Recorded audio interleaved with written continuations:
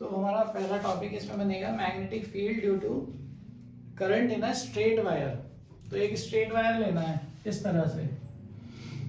और इसमें कुछ आई मैग्नीट्यूड का करंट फ्लो कर रहा है। तो हमें ये तो बात पता चल गई है कि इसके चारों तरफ़ मैग्नेटिक फ़ील्ड क्रिएट होगा ही होगा, लेकिन कैसा होगा, उसे देखेंगे कैसे? कहाँ पे कम होगा, कहाँ पे ज़्यादा होगा? ये बात कैसे पता चलेगी? क्लियर हो रही है इतनी बात? तो उसके लिए एक एक्सपेरिमेंट करेंगे। कैसा एक्सपेरिमेंट करेंगे? एक ले लेंगे कार्डबोर्ड फाइन इसमें एक होल कर लेंगे यहाँ पर और एक वायर स्ट्रेट वायर इसमें से पास करा देंगे.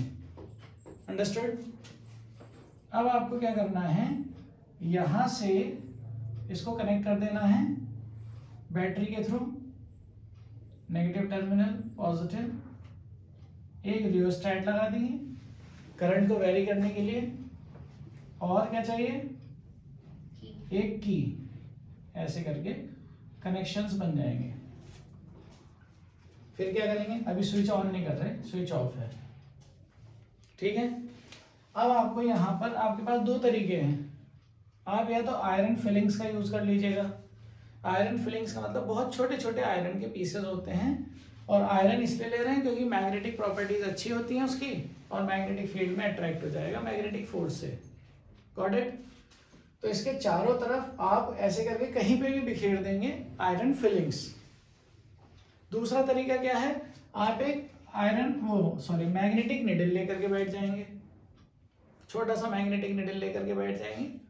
कंपस और फिर देखेंगे कि वो जैसे इसमें करंट फ्लो कराएँगे तो निडल किधर को डिफ्लेक्ट हो रही है? अंडरस्टूड ये दो तरीके हैं। पहले पहला वाला समझते हैं। जब हम इस, इसमें स्विच ऑन करेंगे, ये पॉजिटिव टर्मिनल है, ये नेगेटिव करंट यहाँ से ऐसे करके जाएगा, इधर से वापस आ जाएगा। तब जो आयरन फिलिंग्स आपने इसके चारों तरफ़ डाली थी यहाँ शीट पर, वो खुद को अपने, फिर आपको धीरे धीरे ऐसे टैप करना है टैप करना है।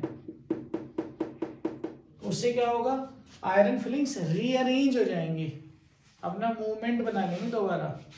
क्योंकि अपने आप चल के तो जा नहीं सकते, इतना ज़्यादा स्ट्रॉन्ग फोर्स होगा नहीं।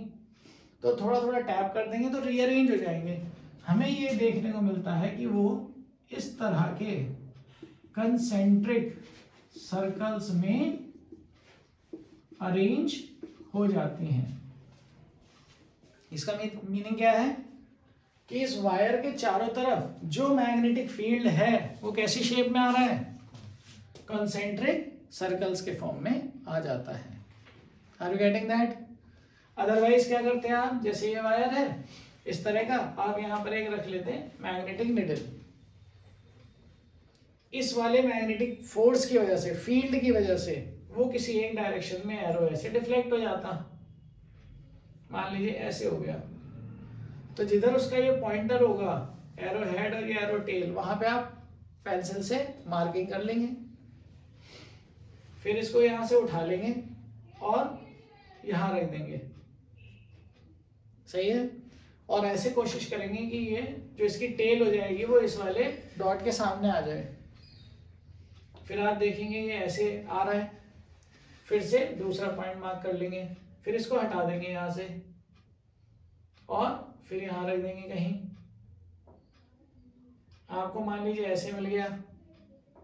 फिर यहाँ डॉट लगा देंगे। फिर यहाँ से हटा लेंगे। फिर एरो देख लेंगे, कहाँ पहुँच गया। इस तरह से करते करते आपको यहाँ सारे में रखना पड़ेगा और आपको कुछ पॉइंट्स मिलते चले जाएँगे। Again you will get the same pattern is that fine समझ में आया? ये था structure of magnetic field created due to a straight current carrying conductor कैसी होती हैं? कंसेंट्रिक सर्कल्स आपने फिर क्या किया? रियोस्टेट की हेल्प से करंट को बढ़ा दिया इंक्रीज कर दिया और फिर टैप किया। तो आप देखेंगे कि ये सर्कल पास पास आ जाएँगे। और नंबर में बढ़ भी जाएँगे। पहले कम दूरी तक थे फिर और ज़्यादा दूर तक फैल जाएँगे। इससे क्या पता चलेगा? मैग्नेटिक फ़ील्ड स्ट्रॉन्ग हो गया है। On increasing current the strength of magnetic field is also increasing are you getting that उसके बाद आपने क्या किया? करंट को कम करने से तो फिर ये गायब तो होंगे नहीं क्योंकि वो फ़िज़िकल मैनुअल फोर्स वहाँ पे लगाना पड़ेगा हटाने के लिए। और हम क्या कर सकते हैं? करंट की डायरेक्शन को अगर रिवर्स कर देते, वो कर सकते हैं हम। यहाँ से पोलैरिटी चेंज कर दीजिए आप। Now this is positive this is negative current यहाँ से पॉजिटिव इधर। तो रिवर्स होगी डायरेक्शन गोइंग डाउनवर्ड और ये यहाँ से इधर निकल जाएँगे। ऐसे। तब हमने ये ऑब्ज़र्व किया। फिर से टैप करके देखा। तो पैटर्न में कोई चेंज नहीं आया लेकिन अगर आप ये मैग्नेटिक निडल यहाँ पे रख रहे होंगे, तब आपको उस पर लगने वाला फोर्स जो टॉर्क है, उसकी डायरेक्शन बदल जाएगी। ठीक है? मतलब शेप तो मैग्नेटिक फ़ील्ड की वैसी ही है, लेकिन उसकी डायरेक्शन बदल जाएगी। तो डायरेक्शन निकालने के लिए हम पढ़ेंगे राइट हैंड थंब रूल जिससे अभी बताएँगे आपको कैसे कैलकुलेशन होगी।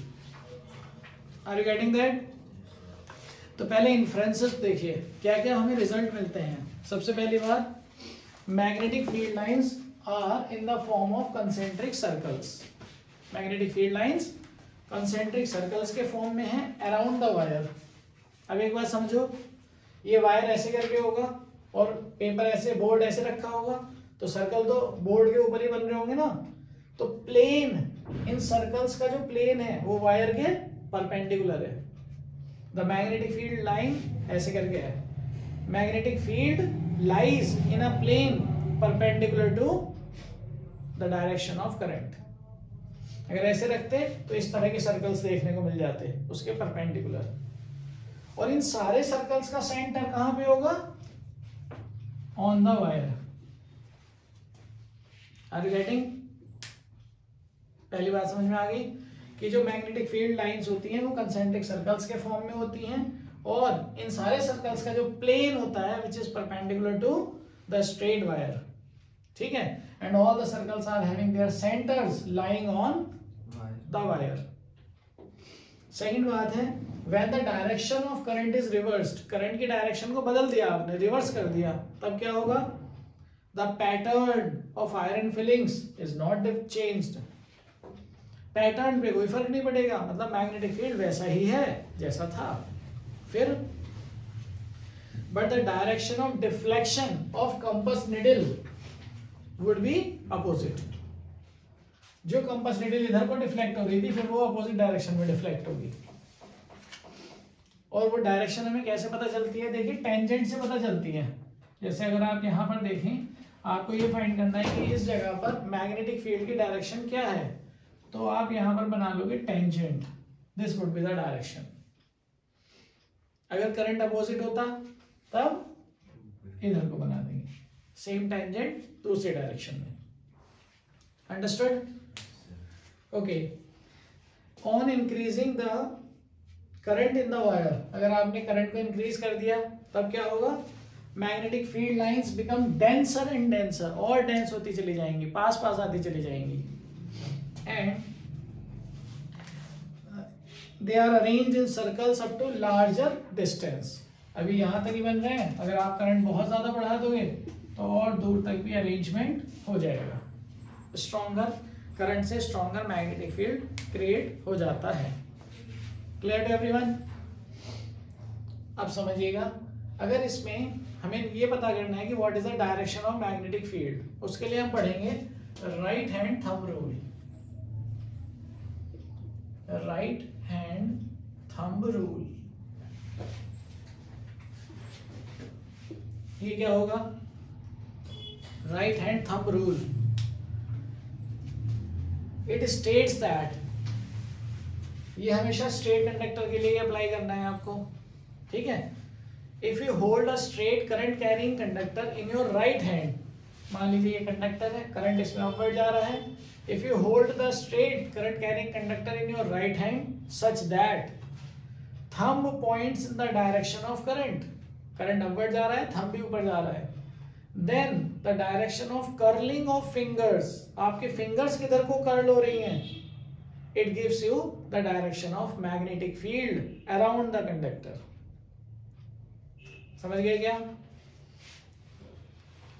If we hold a straight current carrying conductor in our right hand in such a way that the thumb points in the direction of current flowing in the conductor then the direction of curling of fingers represent the direction of magnetic field around the conductor अगर ये current downward आ रहा है तब ऐसे पकड़ेंगे और fingers ऐसे कर लो रही हैं what is this direction clockwise ठीक है? और अगर ऐसे करंट अपवर्ड जा रहा है तब current is current is straight and magnetic field lines are in anti clockwise direction ठीक है? तो करंट की डायरेक्शन बदलने पर मैग्नेटिक फ़ील्ड की डायरेक्शन भी बदल जाती है। Right hand thumb rule clear हो गया?